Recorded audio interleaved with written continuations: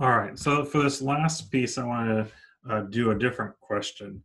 So we've done time and displacement and uh, a little bit of velocity, but what I want to focus on here is final speed of the ball upon hitting the ground. Okay, um, so let's look at this question 15 and look at what does it what do they mean with speed? How is that slightly different than velocity? So first of all um, well, let's switch over to our drawing here. Okay. So it started out going eight meters per second and going up 29.4 meters per second Okay. Um, and then it went one, two, three, four, five, six. So it kind of went up and over. Okay. Um, so that is the time. Okay. Each dot represented one second intervals. So there's a number of ways we can find our velocity. So remember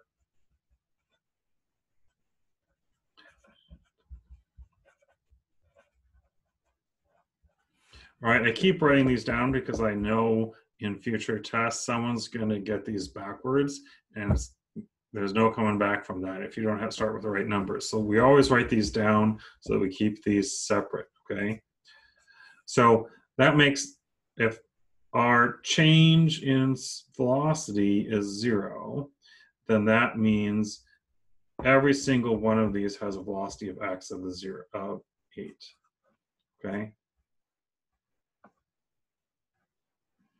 All right, because it never changes. All right, the y each time it loses 9.8. So we have our time equals six seconds. So if we go back to our stack of equations here, okay, which equation can we use that has velocity, acceleration, and time and gives us our other velocity. Okay, um, so we want we want a velocity, we have an initial velocity, and we have an acceleration in the y. Okay, and we have a time.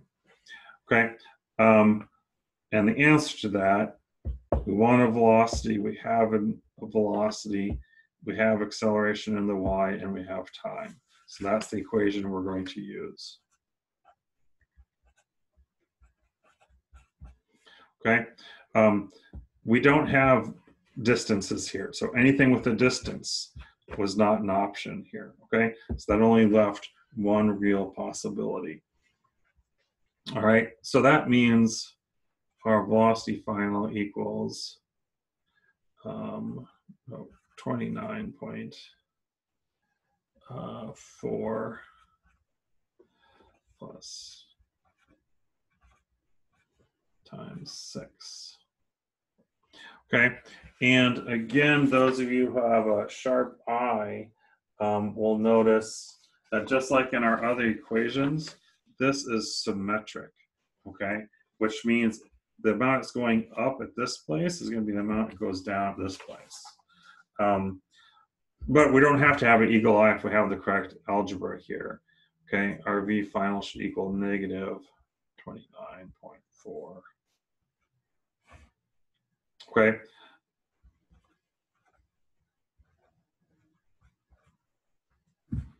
So those are our component vectors. But you'll notice in part C, it says speed. Which does not care about direction. It wants only magnitude, which means if we have a triangle here that goes over 8 and down 29.4,